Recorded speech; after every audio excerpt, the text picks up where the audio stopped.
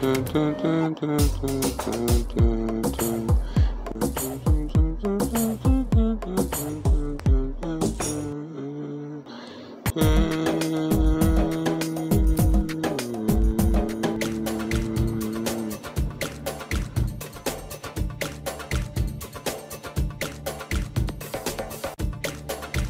check, mic, mic. Alright, on this episode of Bird Fight documentary, we are chopping our BB gun into a pirate's musket thus far. And we want to know if our portable saw, it's a metal cutter, a metal cutting saw, portable, can cut through uh, um, locks because we want to save cows in the future for um bird fight documentary. So we might add that in there as saving cows. Besides investigating what we've been investigating thus far. Um. Okay, so we're gonna try our uh, wireless saw to see if it will work real fast. Hold on one second. Alright, a few more moves and we're to give this thing a whirl. This is the inside of, uh, of a BB gun part. And we're to try and cut it down into size for a pirate's musket thus far. Work goggles. Alrighty.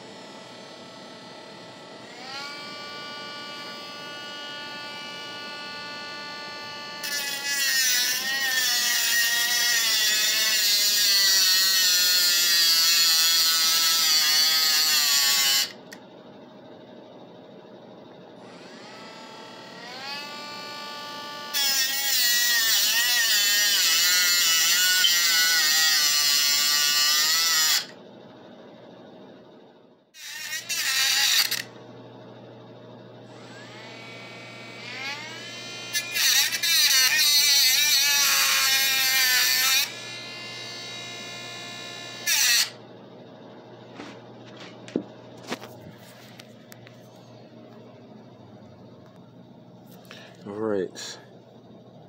And we are through, and that thing works like a charm. So, when it comes to saving cows, and rescuing cows uh, from imminent death, I think this little cordless uh, wireless saw is going to be just fine. In all actuality, let's take this thing out of the Hemi. the spring ejection portion. Once you cut the spring in where the is suspectfully loaded up at.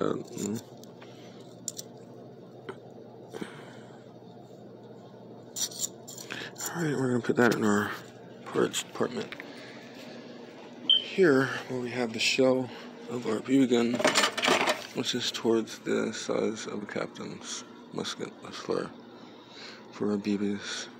So you can put handles back on these things as far after you saw those wooden portions back in there and you can put engravings 18th century lettering on a musket of a pirate after chopping the butt ends off of that. And so alrighty, that's gonna be it for now on our bird fight documentary. And now BB gun to see if uh if our cordless saw is gonna work on the I guess it's going to. That's going to be a moo moo We'll talk to you guys at a later date. Over and out.